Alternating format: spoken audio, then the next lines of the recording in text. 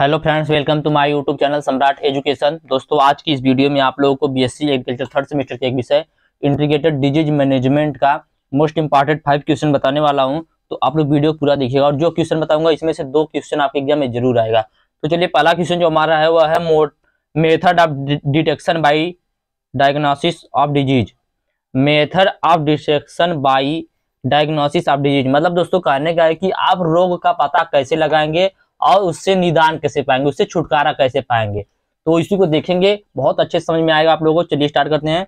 तो रोग का पता लगाने के लिए व उसकी निगरानी रखने के लिए नमूने लिए जाते हैं। कोई भी रोग होगा उसका पता लगाने के लिए या उस पर निगरानी रखने के लिए क्या किया जाता है? नमूना लिया जाता है।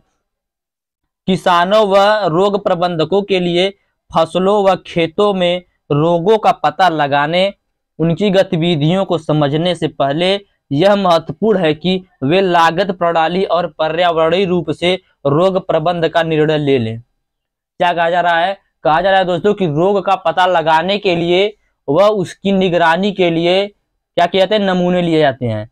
किसानों व रोग प्रबंधकों के लिए फ़सलों व खेतों में रोगों का पता लगाने, उनकी गतिविधियों को समझने से पहले यह महत्वपूर्ण है कि वे लागत और प्रणाली लागत प्रणाली और पर्यावरणीय रूप से रोग प्रबंधन का निर्णय ले सके। एकीकृत रोग प्रबंधन के अवधारणा के पश्चात, एकीकृत रोग प्रबंधन के अवधारणा के पश्चात कोई कार्यवाही तब तक नहीं की जा सकती, जब तक फ़सल के लिए खतरा न हो। तो एकीकृत रोग प्रबंधन के अवधारणा के पश्चात क्या कहा गया है? कहा गया है कि तब तक कोई कार्यवाही नहीं की जा सकती, जब तक फ़सल के लिए कोई खतरा न हो। तो यह था रोग को कैसे पता लगाएँगे? और इसका पॉइंट दोस्तों, पूछेगा कि रोग का पता लगाने का नमूना किस किस विधि से लेंगे? तो दोस्तों, चार बहुत महत्वपूर्ण विधि है, बहुत प्रचलित विधि है। जिसमें पहला है रैंडम सैंपलिंग रैंडम सैंपलिंग का मतलब दोस्तों यादृक्षी प्रतिचयन मतलब दोस्तों, पचास लोग बैठे रहेंगे, उसमें से दस लोग को ऐसे ही बुला लेंगे, ऐसे पौधों में होता है। तो ऐसे आपका खेत रहेगा, उसमें से दस पौधे को निकाल लेंगे, उसमें से उसका सैंपल ले लेंगे। उसके बाद पॉइंट सैंपलिंग उसके बाद ट्रैप सैंपलिंग उसके बाद है सिक्वेंशियल सैंपलिंग तो सभी के बारे में बताऊँगा तो वीडियो काफ़ी लंबा आ जाएगा और आज ही एग्ज़ाम है, आप लोगों को पढ़ना भी है। तो सिर्फ़ आप समझ लीजिए कि नमूना लेने की कुल चार प्रमुख विधियाँ प्रचलित विधि है, पहला रेंडम सैंपलिंग दूसरा पॉइंट सैंपलिंग तीसरा ट्रैप सैंपलिंग और चौथा सिक्वेंशियल सैंपलिंग तो अब दोस्तों मान लीजिए आप लोगों को रोग का पता चल गया, अब आप लोगों को क्या करना है? इसे डायग्नोसिस करना है, इससे निदान पाना है, छुटकारा पाना है। तो क्या करेंगे? रोगों के निर्धारण के बाद, निर्धारण मतलब दोस्तों रोग का पता चलने के बाद, निर्धारित होने के बाद कि हाँ यह रोग है। तो रोग के निर्धारण के बाद दूसरा कदम डायग्नोसिस होता है। दूसरा कदम क्या होता है? निदान का होता है। उसे छुटकारा पाने का होता है। एकीकृत रोग प्रबंधन में उन सभी विषयों का प्रयोग करके रोगों का निदान किया जाता है, जो फ़सलों को आर्थिक क्षति स्तर से नीचे रखता है। रोगों के निर्धारण के बाद दूसरा कदम क्या होता है? निदान पाने का। एकीकृत रोग प्रबंधन में उन सभी विधियों का प्रयोग करके रोगों से निदान किया जाता है, जो फ़सलों को आर्थिक क्षति स्तर से नीचे रखता है। इसके अंतर्गत कल्चरल मैकेनिकल बायोलॉजिकल केमिकल आदि कंट्रोल प्रबंध विधियों का प्रयोग भी किया जाता है। तो यह था दोस्तों method of detection by diagnosis of disease पादप रोग का पता आप कैसे लगाएँगे और उससे निदान कैसे पाएँगे? तो फिर से एक बार सुन लीजिएगा कि रोग का पता लगाने के लिए और उसकी निगरानी के लिए नमूने लिए जाते हैं। किसानों व रोग प्रबंधकों के लिए फ़सलों व खेतों में रोगों का पता लगाने की, उनकी गतिविधियों को समझने से पहले यह महत्वपूर्ण है कि वे लागत प्रणाली और पर्यावरणीय रूप से रोग प्रबंध का निर्णय ले सके। एकीकृत रोग प्रबंधन की अवधारणा के पश्चात कोई कार्यवाही तब तक नहीं की जा सकती जब तक कि फ़सल के लिए कोई खतरा न हो। इसके नमूने लेने की दोस्तों चार मुख्य विधि, बहुत प्रचलित विधि, पहला रेंडम सैंपलिंग दूसरा है पॉइंट सैंपलिंग तीसरा टेप सैंपलिंग और चौथा सिक्वेंशियल सैंपलिंग अब मान लीजिए दोस्तों, आप लोगों को पता चल गया कि पादप में रोग लगा है। तो पादप रोग का निर्धारण होने के बाद दूसरा जो कदम होता है, वह होता है उससे छुटकारा पाने का डायग्नोसिस होने का। तो एकीकृत रोग प्रबंधन में उन सभी विधियों का प्रयोग करके रोगों का निदान किया जाता है, जो फ़सलों को आर्थिक क्षति स्तर के नीचे रखते हैं।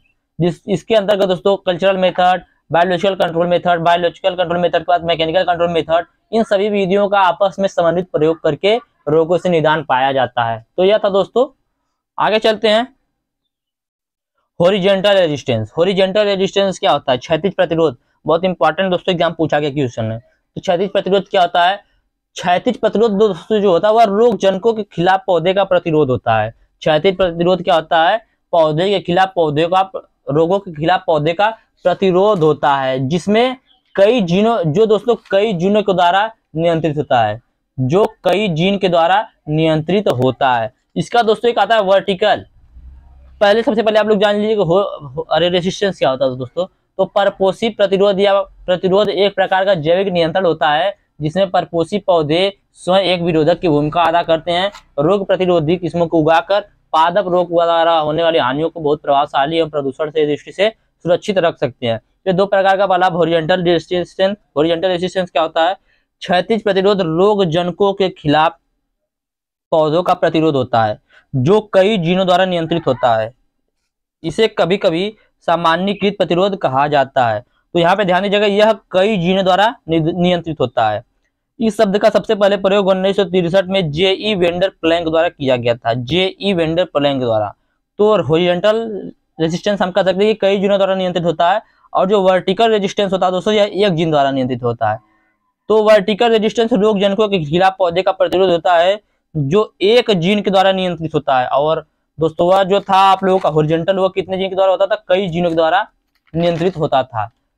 तो ये जो वर्टिकल है, यह एक जीन के द्वारा नियंत्रित होगा। इस शब्द का प्रयोग भी जेई वेंडर प्लैंग उन्नीस में किया था। एक और दोस्तों होता है ट्रू रेजिस्टेंस होता है। वह क्या होता है? वह रोग यह भी दोस्तों, जो ट्रू रेजिस्टेंस होता है या रो, रोग जनकों के खिलाफ पौधे का प्रतिरोध होता है जिसमें या तो एक जीन के द्वारा नियंत्रित होगा या तो अनेक जीन के द्वारा नियंत्रित होगा। इसमें कोई बताया नहीं गया है कि एक जीन के द्वारा होगा कि कई जीन के द्वारा होगा। तो कहने का मतलब है जब असीमित या असमान या मत न जानने योग्य जीनों के द्वारा प्रतिरोध का नियंत्रण होता है तो उसे ट्रू रेजिस्टेंस कह सकते हैं। अब देखेंगे होरिजेंटल एंड वर्टिकल रेजिस्टेंस में अंतर। तो जो क्षैतिज रेजिस्टेंस होता है, यह मात्रात्मक होता है। और दोस्तों लंबोद रेजिस्टेंस या ऊर्ध्वाधर होता है या गुणात्मक होता है। इसे क्षेत्र प्रतिरोध कहते हैं, इसे पौध प्रतिरोध कहते हैं। यह स्थिर प्रतिरोध होता है, यह अस्थिर प्रतिरोध होता है। यह पोलीजेनिक होता है, यह मोनोजेनिक होता है। यह एक समान होता है और यह विभेदक होता है। एक कई जुनों के द्वारा नियंत्रित होता है और जो ये होता है वर्टिकल वाला, यह एक जिन के द्वारा नियंत्रित होता है। तो हमने अंतर देखा कि जो हॉरिजॉन्टल रेजिस्टेंस हुआ मात्रात्मक होता है लेकिन जो वर्टिकल रेजिस्टेंस हुआ, क्या होता? है गुणात्मक होता है। हॉरिजॉन्टल रेजिस्टेंस जो होता है, वह क्षेत्र प्रतिरोध होता है, और जो वर्टिकल रेजिस्टेंस होता है, वह पौध प्रतिरोध होता है। हॉरिजॉन्टल रेजिस्टेंस स्थिर प्रतिरोध होता है, और दोस्तों, जो वर्टिकल रेजिस्टेंस होता है, वह अस्थिर अस्थिर रेजिस्टेंस होता है। हॉरिजॉन्टल रेजिस्टेंस पोलीजेनिक होता है, और वर्टिकल रेजिस्टेंस मोनोजेनिक होता है। हॉरिजॉन्टल रेजिस्टेंस एक समान होता है और वर्टिकल रेजिस्टेंस विभेदक होता है। हॉरिजॉन्टल रेजिस्टेंस कई जीनों के द्वारा नियंत्रित होता है और वर्टिकल रेजिस्टेंस एक जीन के द्वारा नियंत्रित होता है। तो यह आप लोग समझ होंगे अच्छे से। आगे चलते हैं। पेस्ट सर्विलायंस, पेस्ट निगरानी। तो समन्वित पेस्ट प्रबंधन की अवधारणा मुख्यतः कीटाणुओं के रोग विज्ञान और रोग जन्यता पर कारगर निगरानी पर आधारित होता है। जहाँ भी पेस्ट निगरानी कार्यक्रम सफलतापूर्वक लागू हुआ है, वहाँ अनावश्यक पीड़क नाशी का प्रयोग कम हुआ है।